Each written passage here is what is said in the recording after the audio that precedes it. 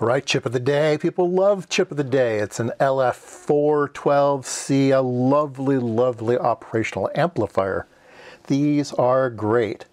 Um, I have them because I was at the store and I got a grab bag of a whole bunch of parts. And the only reason I bought the bag of parts is I saw these guys in the bag. So I knew that the $4 I paid this was enough to pay the $4 and then I got all the rest that's really good.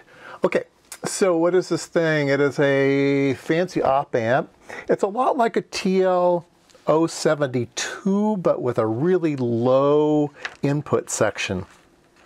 So it has a 50 picoamps input and a low noise 0.01 picoamps per root hertz. And more importantly it's got low voltage offset. It's also 3 megahertz which is the same as the no 72 uh, 10 to the 12 ohms input impedance these are great great great parts.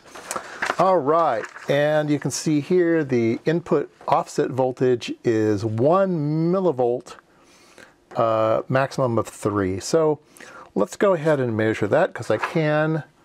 Um, I have my board here that uh, I sell on PCBWay um, and it is my op amp test board. I have this one configured with 100 gain, so this has 100 gain.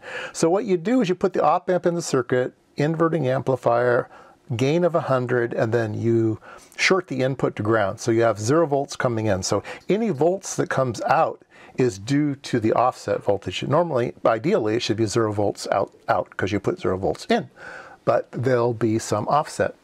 So if we look at the oscilloscope and we see what's going on here, we have, I need to move my camera so you guys aren't looking at it sideways. Yeah, that's better. Look at that. I have 190 millivolts of offset. And so what does 190 millivolts of offset mean? Well, I have a gain of 100, which means I have one hundredth of that as offset voltage. So I have 1.9 volts, millivolts, 1.9 millivolts of input offset uh, voltage.